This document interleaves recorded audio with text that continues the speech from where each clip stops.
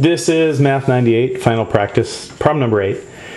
The directions say solve by any method, so I'm going to do just that. And um, looks like it's pretty well set up for elimination so far. So I notice I have a negative 6x here and a 3x. So if I multiply this top equation by 2, the, I know the x's will cancel out.